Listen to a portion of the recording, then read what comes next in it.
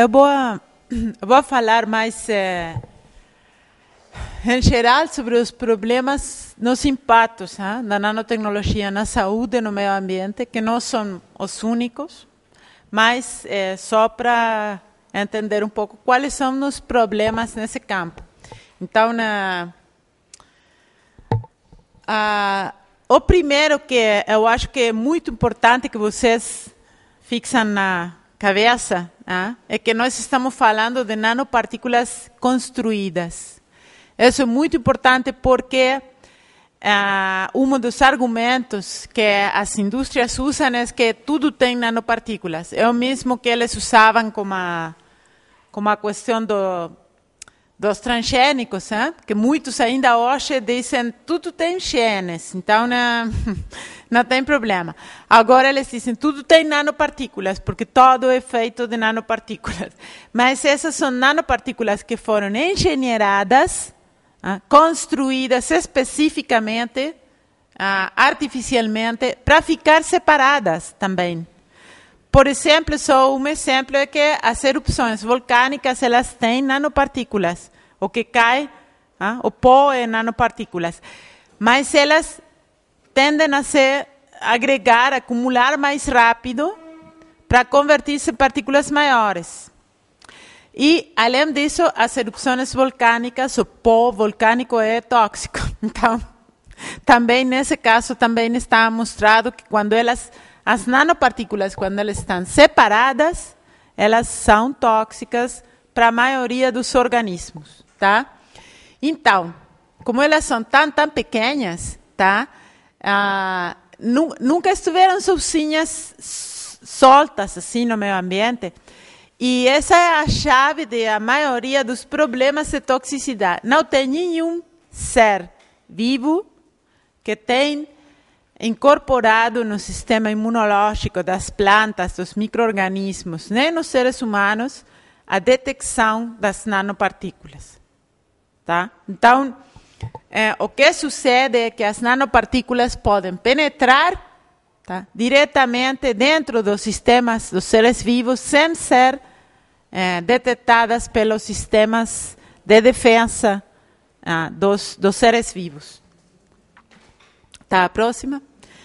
Ah, então, por isso, ah, não só atravessam isso, mas elas atravessam, inclusive, sistemas que os seres humanos e os animais também têm de defesa das infecções. Por exemplo, o cérebro está é, coberto por uma capa muito, muito é, apertada que não deixa entrar muito dos micro-organismos uh, que poderiam infectar o cérebro. E o mesmo sucede com a placenta. E aqui as nanopartículas atravessam as duas sem nenhum problema, porque elas são muito maiores. Mesmo que elas são engenheiradas para não agregar-se, porque se elas agregam, se elas acumulam, então perdem a propriedade. Tá? A questão é que elas têm que ficar separadas. Estão engenheiradas para isso mesmo assim elas têm a tendência para se juntar. E quando se juntam no organismo, elas se juntam em órgãos. E o que sucede é que se você tem alguma coisa que se deposita nos órgãos, essa é quase, quase com segurança a origem do tumor, porque as células ao redor tentam se defender, então fazem um, uma, um crescimento anormal ah, das células que produz câncer depois. Mas por isso mesmo, porque elas vão dentro do sistema imunológico sem ser detectadas, é por isso que elas são usadas na farmacêutica. Hoje, mais da quinta parte dos produtos farmacêuticos tem alguma forma de nanotecnologia, porque ela vai diretamente aos sistemas, aos tecidos, aos sistemas vivos, é o mesmo princípio como cosmético. Por exemplo, o que sucede é que a pele é um dos. A pele é o organismo. É o tecido do corpo humano assim mais é, grande que tem no corpo é a pele. É um tecido muito complexo para prevenir hum, as infecções. Quando, ela, quando a pele está sadia, então é como uma rede assim que inibe que outras coisas passem, tem várias capas. As nanopartículas atravessam, na, a pele não existe para as nanopartículas, ó, ó, é muito maior os poros e as, as porosidades, não só os poros que vocês veem, mas todas as... Então, é por isso que, por exemplo, as cremas ah, ah, que são usadas na cosmética, ela tem um efeito muito maior, porque vão muito mais rápido aos tecidos que estão por embaixo. Tá? Além disso, muitas das nanopartículas estão feitas, por exemplo, na questão da liberação controlada, elas estão feitas para que as cápsulas das, são nanopartículas com uma cápsula e a cápsula se abre quando chega ao tecido a esse tecido. Por exemplo, os cosméticos com retinol, uma das substâncias que eles colocam para fazer anti-arruga, anti-rugas, uh, ele se abre a, depois de atravessar as capas superiores da pele, quando já chega aos tecidos, depois tem, um, tem é, uma substância que reacciona nesse momento, então abre. E é por isso que essas cremas, de fato, são muito efetivas. Elas são efetivas. Eu não vou dizer que já experimentei, mas já experimentei. Não, mas uh, elas são muito mais efetivas, mas a, a, a paradoxa é que elas podem é, provocar radicais livres, tá? E os radicais livres produz, produzem uma reação dentro do ADN ah, que é o contrário, envelhecem mais rapidamente. Não sei se, se aqui no Brasil vocês é, viram a, o filme Gatúbela, tem aqui no Brasil? Catwoman? Você, se vocês vieram ouviram falar que é uma garota aí que vai a uma companhia farmacêutica que vende uma crema maravilhosa e depois as pessoas ficam mais, mais velhas, então elas ficam dependentes da crema e tem que seguir comprando. Agora ela denuncia e aí a matam e tudo isso que é, é o filme. Mas a verdade é que como, as, como os nanocosméticos têm esse efeito, tá? que ao começo você fica muito mais assim estirada, jovem, sabe? E depois fica dependente porque acelera o processo de envelhecimento, tá? Assim que se alguém de vocês tem a tentação de usar, pense, não use. Então, nos pontos de entrada das nanopartículas que já estão comprovados podem ser a inalação, isso tem muito a ver com os trabalhadores, ah, os que fazem as nanopartículas, a inalação, alimentação, através dos alimentos, através do sistema digestivo, através da pele, através da corrente, da corrente sanguínea, através da placenta, eu já disse, através de muito, de, de, dos tecidos do cérebro, tem vários. E os pontos é porque todo tempo tem algum novo. Né? Além disso, é, não é só quando nós intencionalmente colocamos assim, porque estamos em contato intencional ou por alguma coisa, também tem toda uma geração de lixo novo, hein? que ninguém sabe o que vai o que vai passar, porque está não só nos depósitos, hein? mas também nas, nos cursos de água, em todas partes vai ter uma quantidade muito maior de nanopartículas, hein? que por seu potencial de reatividade, quando ela é muito pequena, só, não sei se consigo explicar para que vocês entendam esses dois mecanismos. Ao nível ao nível das moléculas, dos átomos, ah, já não é uma reação química, algo que nós não entendemos, uma reação mecânica. Assim, as partículas ficam junto com outras partículas. Então, isso dá uma reação diferente. Isso é o que sucede ao nível da. por, por embaixo dos 100 nanômetros. É isso que é os efeitos quânticos. Tá? Então, quando você tem essas partículas muito pequenas, elas reacciona, tem uma reatividade muito maior. Não só no lixo, também no corpo, também em tudo, tá? Mas aí nós vamos a ter um fenômeno de lixo novo, que nós ninguém conhece o que vai passar, que já está sucedendo. Por exemplo, como os incineradores, porque uma das formas de ser nanopartículas é com altas, muito altas temperaturas. Então, se vocês sabem, cada vez, como a, cada vez tem mais basura nas grandes cidades, cada vez, lixo, lixo, cada vez tem mais lixo nas grandes cidades. Então, a proposta é incineradores de temperaturas cada vez mais altas, assim, para vaporizar quase o lixo. Tá, a vaporização, na verdade, são nanopartículas que saem para fora hein? e que não são captadas pelos filtros. Principalmente, por exemplo, as dioxinas, furanos, organoclorados, que já são um problema, mas que agora vão ser o mesmo versão nano. Tá.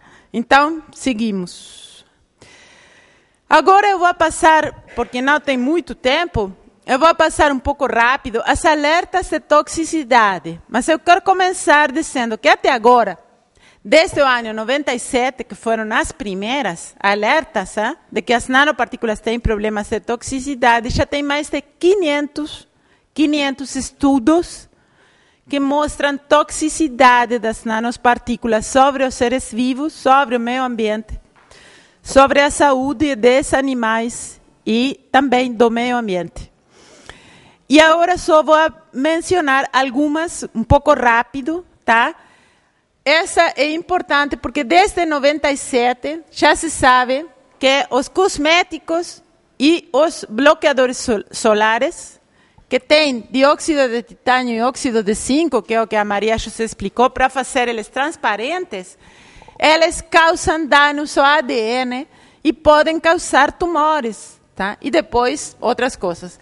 Então, a resposta da L'Oréal foi que eles iam encapsular eles tinham as nanopartículas dentro, como as duas substâncias, e além disso, partículas de carbono, eles vão encapsular para, además da encapsulação, a colocar, como eles cheiram, ah, cheiram eh, mais oxidação, os radicais livres, eles vão colocar antioxidantes, uma cápsula com antioxidantes, outra cápsula. Então, quando você coloca um desses nanocosméticos de L'Oréal, se eles fazem o que diz, porque ninguém controla, ninguém tem poder de regulação para controlar, tá? mas eles dizem que eles fazem, se eles fazem isso, você está desatando toda uma guerra dentro da sua pele, tá? Primeiro o retinol, que burla o sistema imunológico, depois sai o radical livre, daí sai outra substância para combater o radical livre. Eu não quero pensar, depois que eu ouvi a explicação da L'Oréal, ele diz, jamais na minha vida voltarei a usar isso. Que é uma guerra microbiológica dentro da pele só para aplicar um desses cosméticos, tá? Se eles fazem isso que eles dizem. Então, depois começaram, assim, múltiplos estudos. Nesse livro, ah, eu tenho um artigo ah, que se chama A Primavera Silenciosa da Nanotecnologia, ah, que, por supuesto, é referido a, ao livro da, da Rachel Carson, né, que falou do DDT quando era usado como uma coisa maravilhosa no mundo. Tá? Foi a primeira que diz ah, isso tem problemas muito graves. Ah, e eu acho que como a nanotecnologia é uma coisa ainda pior porque mais generalizada, hein? está muito mais aspectos, tem uma quantidade enorme. Mas estou mencionando esse artigo porque eu vou passar rápido. Não tem todas as fontes aí. Algumas tem aqui hum, e tem também nos materiais que você vai pegar dentro do, do CD. Hein? Então, é, tem diferentes é, estudos, hein? Que mostraram, por exemplo, que se acumulam as nanopartículas dentro do fígado, dos pulmões, do cérebro, tá? Que também elas podem ser absorvidas pelas células e também podem levar eh, de contrabando, contrabando, eh, agentes tóxicos junto a parte delas. Pode ser que não toda uma bactéria, porque a bactéria é muito grande, mas a toxina da bactéria pode ir junto ah, com esse, quando elas se entram dentro dos tecidos. Ah, depois, ele, isso é 2003, ele foi acelerando, tá? É, a NASA fez também é, experimentos com inalação, encontraram que tem é, efeitos nos pulmões dos ratos, siga. Ah, e depois, no ano 2003, o ETC pediu para um toxicopatólogo bastante conhecido que se chama Vivian Howard, ele é um homem, se chama Vivian, mas é um homem, é, que diz que diz que aqui o problema não é tanto o, o elemento da nanopartícula, mas o tamanho, tá? Então, no primeiro reporte que a ETC fez sobre o tema, se chama O Tamanho Importa. Ah, ele, está dentro do, está dentro do, do sítio. Então, ah, o que ele diz é assim, como é, não, não é tão importante a, a substância que se utiliza, mas o tamanho, porque é isso que provoca a reatividade. Além disso, a substância pode ser tóxica, então fica pior, mas só como uma substância que pode ser benigna já tem problemas, tá? Siga.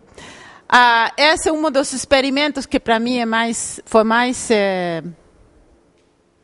Não, não é esse, mas é, é, é, o mesmo, que pode ser, como eles penetram dentro dos micro-organismos, depois os micro-organismos são comidos por outros e ao final chegam ao corpo humano também, tá? Isso é uma coisa que já tem vários estudos, que é a integração ah, via o que se chama de bioacumulação, ah, das nanopartículas que podem chegar para a cadeia alimentar. O primeiro caso de morte que está diretamente relacionado com nanopartículas, que foi na China, ah, foi há alguns anos, mas ele foi estudado e publicado nesse ano ah, no European Respiratory Journal, que é uma revista mais a mais famosa das, das, doenças respiratórias do mundo.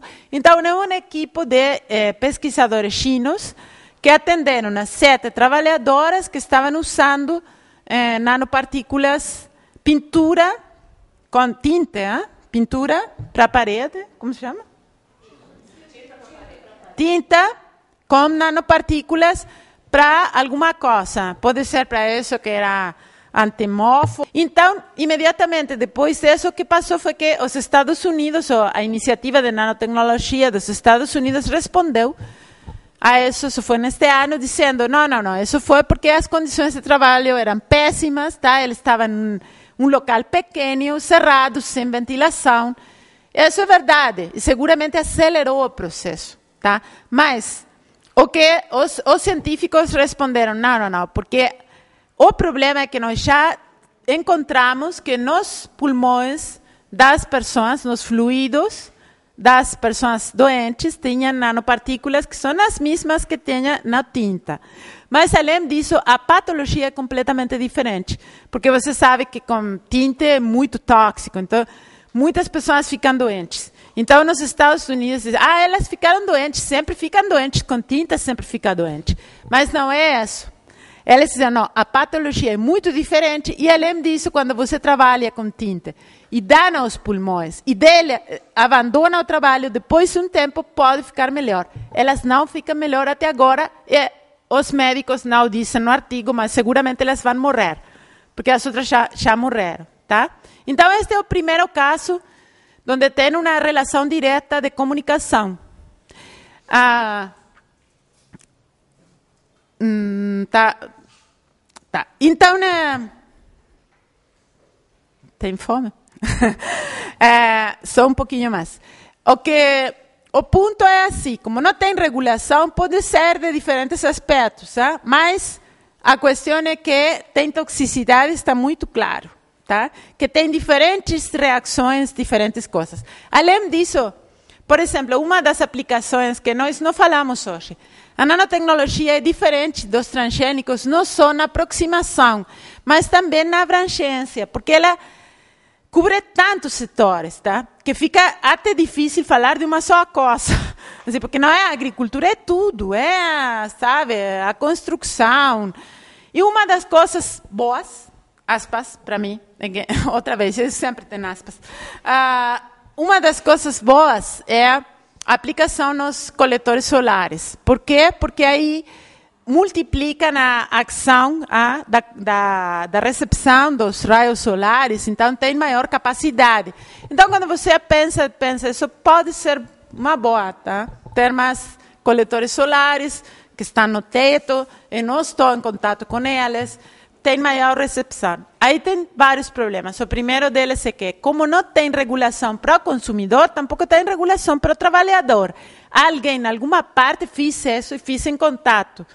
Nós, DTC, desde o ano 2003, quando nós planteamos a necessidade de uma moratória imediata, nós os primeiros que vão ser afetados vão ser trabalhadores pesquisadores, porque ninguém está usando nenhuma precaução para o trabalho com nanopartículas.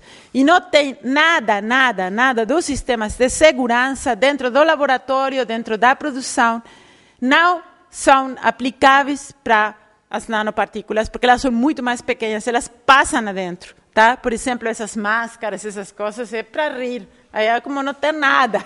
Então, esse é um dos primeiros problemas. Tá bom, pode ser. Podemos ter coletores solares com nanopartículas muito mais eficientes que ligam ao teto. Eu não entro em contato, mas alguém entrou. É como a questão dos vestos. Tá? Alguém produz e fez isso. E além disso, já tem estudos que marcam que a exigência de energia para produzir o coletor solar com nanopartículas é tão grande que a energia que você gasta para produzir é muito mais da que pode recuperar, aunque recupere mais lentamente se tem um coletor menos eficiente. Dá para entender? A energia é muito maior. Então, ainda com isso, não é um produto ecológico, porque é como a questão que falávamos dos agrocombustíveis. O etanol no carro pode ser bom, mas antes do carro que passou, aqui é o mesmo. Tá? Tem, tem uma coisa que é preciso fazer, uma análise total ah, do ciclo de produção, do ciclo de vida. Tá? Então, uh, eu acho que é a última, não? Já tem? Tudo bom. Então, vamos deixar acá.